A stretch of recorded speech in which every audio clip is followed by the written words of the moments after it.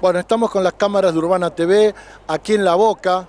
Vinimos a la calle Irala 46. Quieren desalojar a unas 30 familias que está resistiendo ante el gran desarrollo y la puja inmobiliaria de Mauricio Macri y Horacio Rodríguez Larreta. Estamos representando a todas las familias que se encuentran viviendo eh, en este terreno hace más de 30 años, el cual no tiene dueño porque esto es un terreno fiscal y el cual el gobierno de la Ciudad de Buenos Aires, eh, en una actitud totalmente temeraria e ilegítima, pretende desalojar a todas las familias que están viviendo acá. Con mi familia hace 15 años que vivimos acá y bueno, fuimos eh, más o menos acomodándonos con los materiales que pudimos. Hace 18 años que vivo acá Vivo con mis hijos y mis nietos. Yo hace 19 años que estoy viviendo acá. Yo tengo un merendero donde le doy de comer a los chicos. No podemos entender que un gobierno nos quieran sacar y tirar a la calle. Que se sepa que hay familias, que hay niños, que hay mucha gente a la cual acá necesita. Pretende mediante una acción de desalojo dejar a todas las personas sin lugar donde vivir.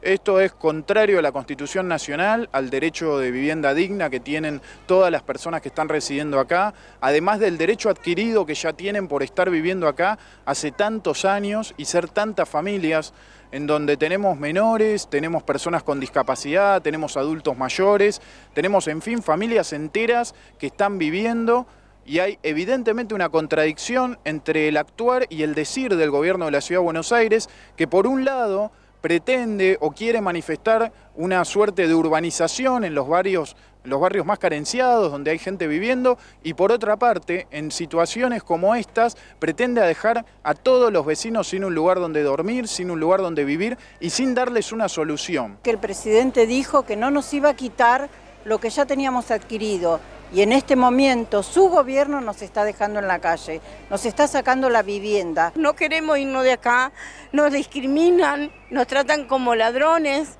nos tratan como que salimos a robar. Nosotros somos gente que trabajamos, que los chicos van al colegio. Acá no hay delincuentes, acá hay familias trabajadoras que están viviendo, que necesitan conservar su lugar, porque hoy en día acceder a una vivienda en la República Argentina es prácticamente imposible.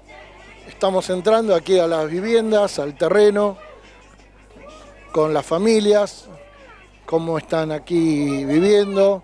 Son 30 familias. Que el gobierno nos escuche que no nos queremos quedar en el lugar. Si el lugar no nos pertenece, bueno, una vivienda digna. Que el gobierno nos dé una solución para no quedarnos en la calle, digamos, que nos dé alguna, alguna solución.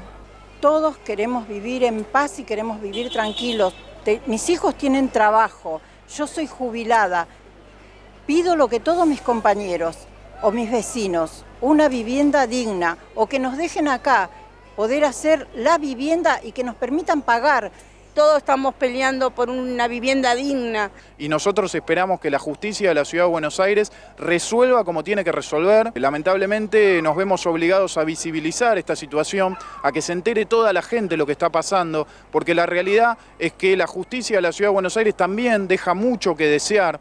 Nosotros hemos ofrecido prueba testimonial, hemos ofrecido más de 100 testigos, de los cuales solamente han citado declarar a dos, y pretende el juez dar por concluido el periodo probatorio y pretende el juez pasar a dictar sentencia cuando no se ha producido toda la prueba y cuando tenemos a toda la gente que no tiene dónde vivir, no podemos seguir permitiendo que haya tanta gente que no tenga un lugar donde vivir, o que ya lo tenga ganado y que el gobierno pretenda sacárselo, vaya a saber para hacer qué negociado. Le estamos exigiendo un derecho de vivienda digna para nuestros hijos.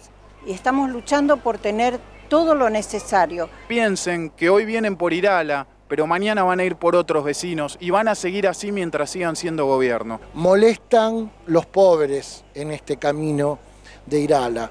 Las cámaras Urbana TV también aquí en la boca con la gente.